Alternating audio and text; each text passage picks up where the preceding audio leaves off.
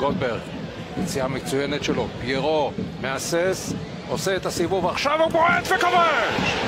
פיירו עושה את זה שוב, ומגיע שיצחצחו לו את הנעליים, שוב שם את הגוף החזק שלו, עושה את הסיבוב ומוצא את הפינה הרחוקה. כן, ואלי לוי מנסה להניע כדור מול מכבי חיפה, ומכבי חיפה מובילה אותו ימינה לאזור של תום בן זקן, שהוא פחות מיומן עם הכדור. והוא מאבד אותו לאמצע, ועכשיו הוא מאבד אותו שהוא מאוד רחב, הכל נפתח, ואז, כמו שאמרת, הגוף הגדול של פיירו על חכמון מסתדר מהמקום מדויק להפליא, טעות גדולה של אשדוד.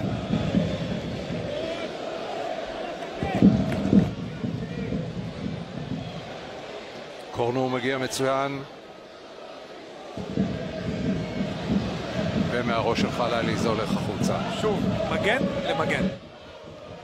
עלי מוחמד לגמרי לא בשקט, הולך על חלילי, וחלילי מגיע לכדור הזה, וכל פיירו!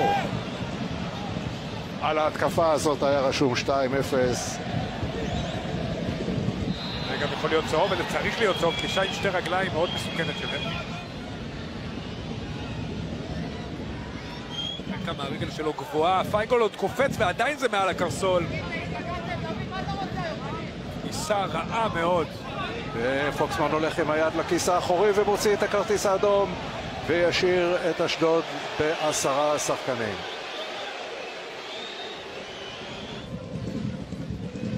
חלילי.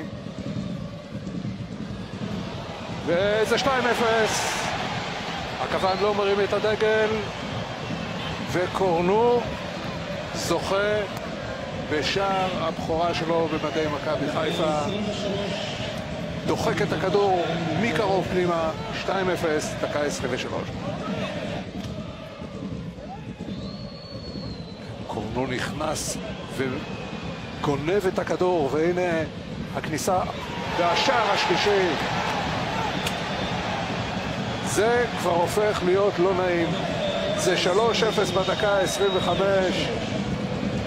וזה ממש לא נעים. ואני חושב, לא על הקהל הזה, אני חושב על הקהל של אשדוד שממלא היום את האיצטדיון עם הרבה כרטיסים אה, בחינם לילדים והם זוכים באחד הערבים העצובים של אשדוד. כן, נהנים ממכבי חיפה. כן.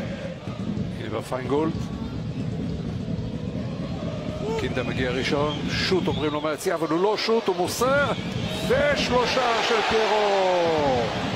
שלושה של פיירו במחצית הראשונה במכבי חיפה עם 4-0.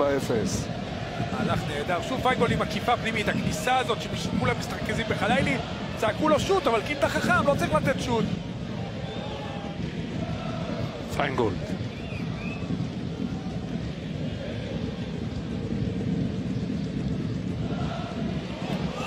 רביעייה! רביעייה!